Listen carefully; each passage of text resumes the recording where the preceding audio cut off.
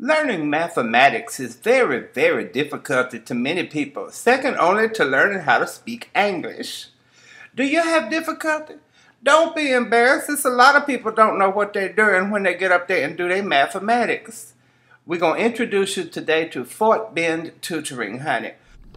Hello, ladies and gentlemen. This is Mr. Whitt with Fort Bend Tutoring, FBT, and today we'll be talking about factoring by grouping. That's right, factoring by grouping, ladies and gentlemen. That's what we got going on. So let's pull it up, right?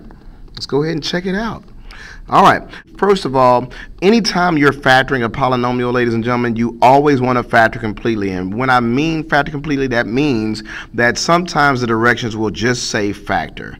However, there are times where you'll be able to continue to factor, in other words, factor multiple times in one problem. So always read your directions that say factor as factor completely every single time.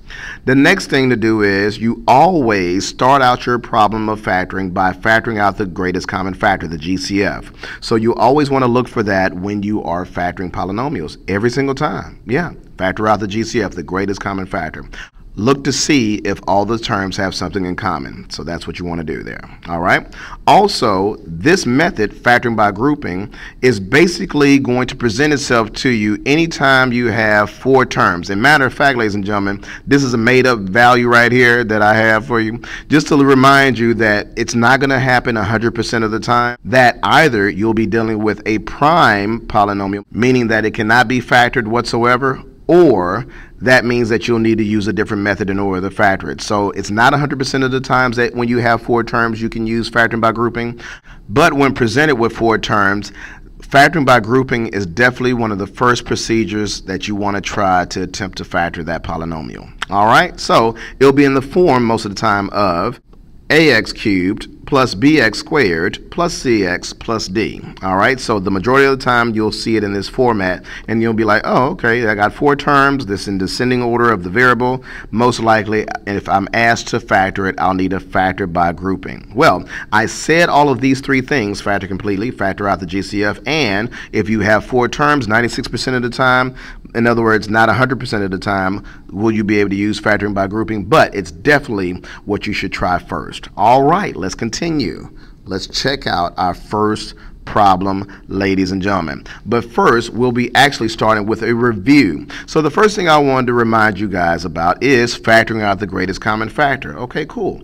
Well, that means that here in these two terms in problem number one, as the example in our review, we have 10x minus 20. Well, these two terms, keeping in mind that terms are separated by a plus or a minus sign, these two terms can both be divided by 10. They can both be factored by 10. So my GCF, my greatest common factor, is 10. So I'll write this result as 10 times the end result of this is going to be x minus 2. Because, ladies and gentlemen, factoring is division. So what I just did was I divided out 10 from the first term and I divided out 10 from the second term, which is negative 20.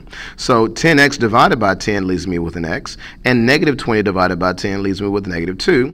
And notice how your answer looks like a distributive property problem, which, by the way, is my favorite property, distributive property. Uh-huh. I really want to get those arrows popping. And in fact, I can just remind you that you can always get your arrows popping. In other words, 10 times x is 10x and 10 times negative 2 is negative 20 to verify that you did it correctly, ladies and gentlemen. All right, so that's factoring out the GCF. And in this case, our greatest common factor was 10. All right, so let's check out the next problem in our review. Here I have x cubed times a plus b minus 5 times a plus b. So in this example, first of all, how many terms do you see? All right, your choices are one term, two terms, four terms, six terms. How many terms do you see? Remember that terms are separated by plus or minus signs. Very good, ladies and gentlemen. The correct answer is 2. This is our minus sign, which is going to separate this term, which is x cubed times a plus b, from the second term, which is negative 5 times a plus b. What do these two terms have in common? That's exactly right. They both have an a plus b in common. That's exactly right. They have a plus b in common. So, factoring out a plus b from both of these terms, I'll have a plus b times x cubed minus 5. Notice how, after I factored out the a plus b from each of those two terms, I simply wrote in the parentheses here what was left over after I divided away the a plus b. So my answer for this particular problem is a plus b times the quantity of x cubed minus 5. And that's it. All right, so that wasn't factoring by grouping, but that was a quick review over factoring out the GCF, the greatest common factor. All right, so now let's get into what you actually came here for. Problems about factoring by grouping. All right, let's check it out. First of all, I have four terms here. So automatically, I'm going to be looking to see if I can factor by grouping. When factoring by grouping, it's a good idea to have your terms written in descending order of the variables. So you start with the highest exponent, and then you want to work your way down as far as the variables are concerned. So therefore, I have it written as x cubed plus 3x squared plus 2x plus 6.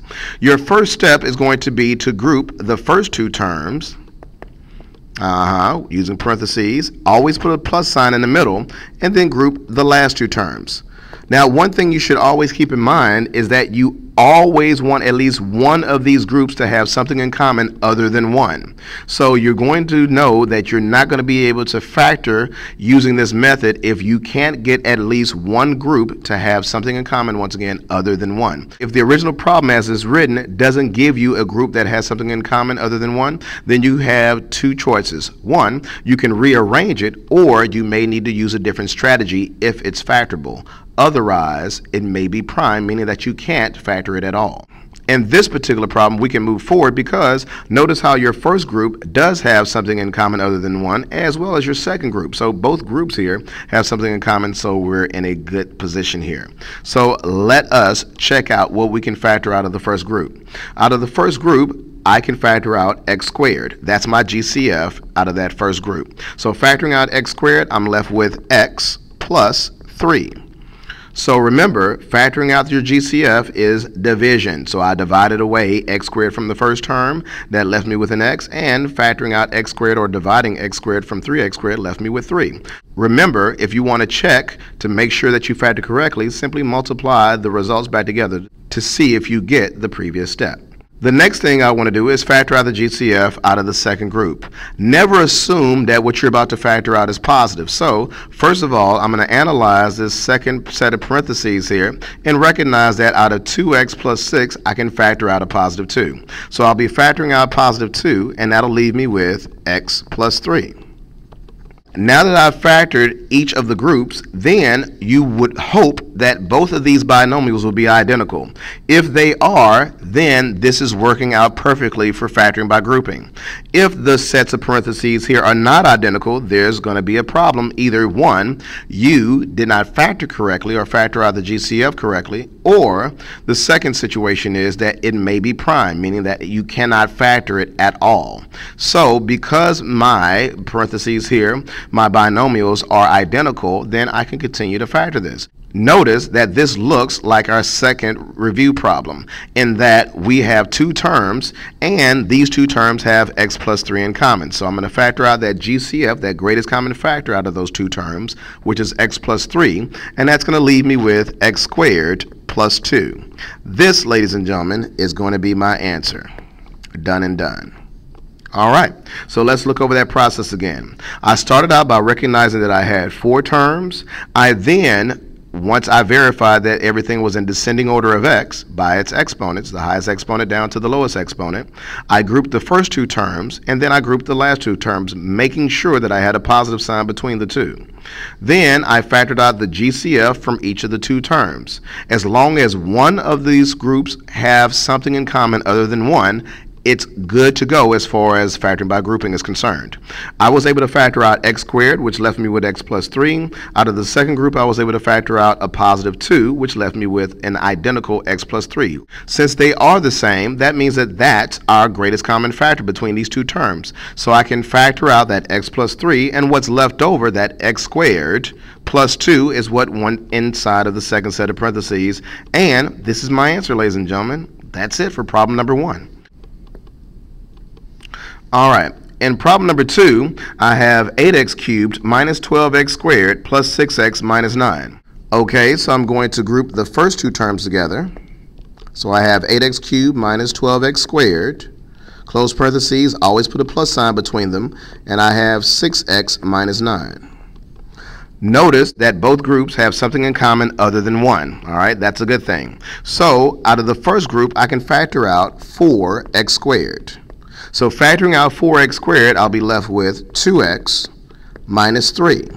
So remember, factoring out your GCF is the same thing as dividing by that same term. So I end up with 2x minus 3, knowing that the product of 4x squared and this binomial will give me that original 8x cubed minus 12x squared. Out of the second group, I can factor out a 3. So factoring out a 3 leaves me with 2x minus 3.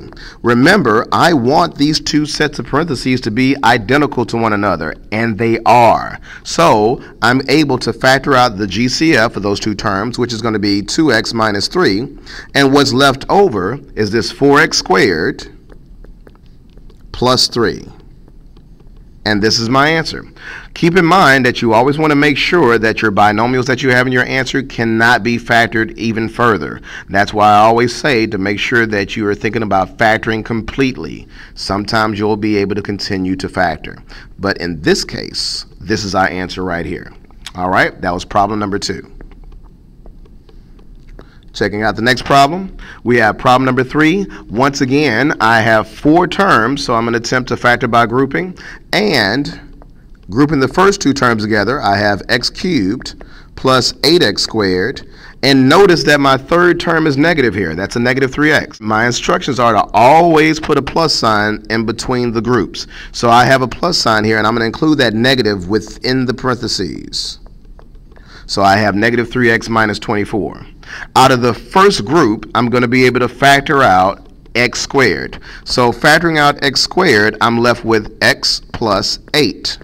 Out of the second group, I can factor out negative 3. Remember, you never want your first term inside the parentheses to be negative. So always, anytime your first term is negative inside those parentheses, make sure you're factoring out a negative, and that negative that you're factoring out will affect both terms. So factoring out negative 3 will change the sign and divide everything by 3, which will leave you with x plus 8. Once again, I have binomials that are identical to one another. That's good. So that's my GCF, the x plus 8. So I'm going to factor out that x plus 8, and that's going to leave me with, oh, that's ugly. That's ugly 8. Let's fix that. All right, that's much better. x plus 8 times x squared minus 3. And this is my answer. Yep, that's it. So once again, once I recognized that these binomials were identical, I was able to factor that out as my GCF of those two terms and write down what remained, which was the x squared minus the 3. That went in my second set of parentheses, and this is my answer, ladies and gentlemen. Yeah. All right. That was problem number three. Let's keep it moving. Okay? All right, next problem. Here, I have the problem 7x cubed minus 14x squared minus x plus 2. I'm going to factor by grouping because I have four terms and hopefully I can get this into a situation to where I have at least one group that has something in common other than one. All right, remember, if the third term is negative, I hate that plus sign. Better. If that really it's not that better. Okay, let me start over. There it is. All right, I'm, I'm going to stick with this plus sign. This third term here is negative. All right, that tells me to make sure I have a plus sign in between and to include that negative into the last set of parentheses. Out of the first group, I'm going to factor out 7x squared. So factoring out 7x squared, I'll be left with x minus 2.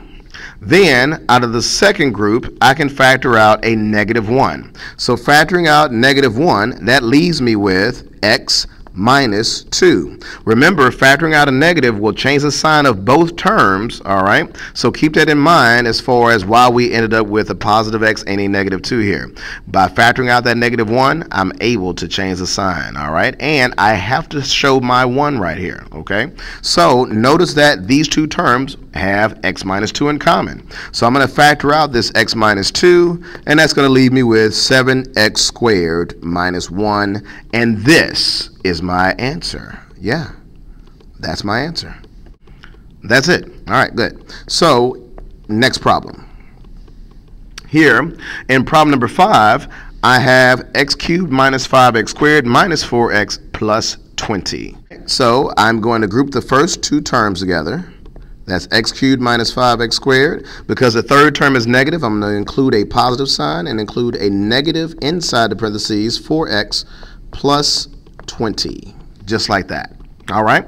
Out of the first group, I'm able to factor out x squared. So factoring out x squared, that leaves me with x minus 5 factoring out a negative 4 out of the second group, mind you, that first term inside the parentheses is negative. So I know to factor out a negative something. So in this case, I'm able to factor out a negative 4. Notice how I didn't assume that I was going to be able to factor out a negative or a positive anything. I waited to find out what the GCF was first. So factoring out negative 4, I end up with x minus 5 and that once again matches the previous binomial so I know that that's my GCF of the two terms. I'm factoring out the x minus 5 and I'm left with x squared minus 4. This time, notice that the second set of parentheses is what we call a difference of two squares. So if you haven't already, check out our video on factoring a difference of two squares. All right, so I got the link right down there. Okay, so then once I've done that, I'll bring down this x minus 5, and knowing that this is a difference of two squares, I'm going to open up two sets of parentheses. The square root of x squared is x, so that's going to be the first term in each of those binomials. And the square root of 4 is 2, so I have a 2 in each of those, and then I'm going to go with a plus and then a minus because I'm an optimist. That's right. I always lead with my plus sign. So all you pessimists out there, I'm sure you want to write a negative sign first. You go right ahead because either way is correct. Bottom line, ladies and gentlemen, this is my answer. When it comes to the factors, ladies and gentlemen, when you're factoring by grouping, it doesn't matter the order. So any order of these binomials multiplying on one another is a-okay as far as your answer is concerned. This is just how I do mine, all right? So the order is always going to come out consistent for me because I do it the same way every single time. All right, there you go. All right, ladies and gentlemen, so that concludes factoring by grouping with Fort Bend Tutoring and Mr. Whitt.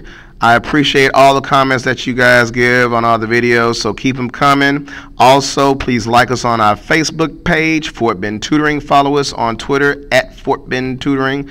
And if you can, ladies and gentlemen, go ahead and donate. That's right. Keep these free videos coming your way. And we have a link on the YouTube channel Fort Bend Tutoring that says donate for more free videos. Click on that. And if you can, ladies and gentlemen, we appreciate it. Once again, this is Mr. Whitt. Peace. We certainly hope you enjoyed today's presentation by Fort Bend Tutoring. Did you understand the program? Would you like to rate us or give us some feedback or subscribe to us? You could do all that on tutormemath.net.